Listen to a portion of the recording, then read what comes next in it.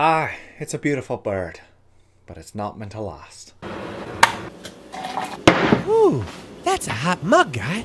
Hey guys, another little bit of an obscure review here, but this is for actually one of, if not my favorite independent film ever made, Kes. This is a film that was directed by Ken Loach. It was released in 1969. It all follows a boy living in northern England back in the 60s and basically just talks about how completely and utterly screwed he is. This was a film that was shown off about halfway through the first ever film course I ever took, and this has stuck with me for a long time. To the point where I only just got this Criterion Blu-ray last year, but I was looking for it forever. I wasn't gonna buy it online because it was freaking ridiculous. And as great as these Criterion cuts are, they're expensive. They're really expensive. I was able to get this for 50% off as well as Shallow Grave, which is actually another movie I'd been looking for for a while, and I should review that as well. Kes is a unique film, and I can understand why some people might be a little bit odded out, especially as to its criteria. The actors, well, really the non-actors, there's no real big actor in this entire film. It's different from that of a normal film because of how limited the budget was, as well as also the focus point of Ken Loach's entire film career, which has been about the middle class in England. You are following Billy around through his everyday life, and what we see is the school system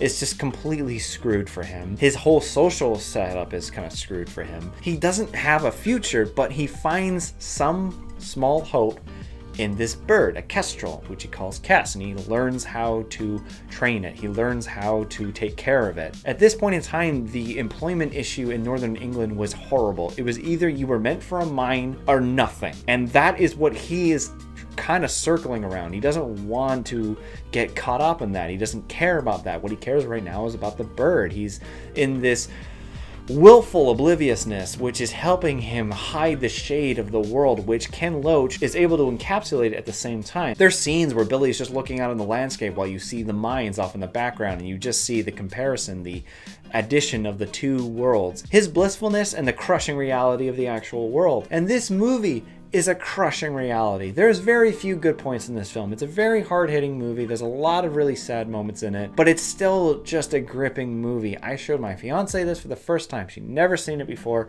and she was fairly entertained. And I, having not seen it in several years, was just as entertained. And this movie's an hour and 50 minutes long, and it holds you despite its lack of budget. Despite its lack of obvious narrative, there is a narrative here, but it's just about social status. It's about class life. What a lot of movies and directors are trying to encapsulate now with the whole division of classes and whatnot, Ken Loach has been killing this bitch for the last 60 years, for the pretty much his entire career. Ken Loach has been a person who has been wanting to document and establish and show just how shitty it is to not be rich. It's something that I appreciate Ken Loach for as a director as well as just being a human being. And this movie too is just a great time capsule, a great look into how shitty life used to be, and for some areas, still is. It's a great film to watch. It's one of my favorite movies ever, and I'm gonna give this film a 7 out of 7. I know I've been passing out 7s just like woo, woo, woo, woo, like hotcakes in the last little while, but it really is. It's an influential movie. It's one of the best movies I've ever seen. Even on the back here, it even says, named one of the top 10 best British films of the century by the British Film Institute. This movie's held in high regard. Not only that, but this Criterion Blu-ray is fantastic.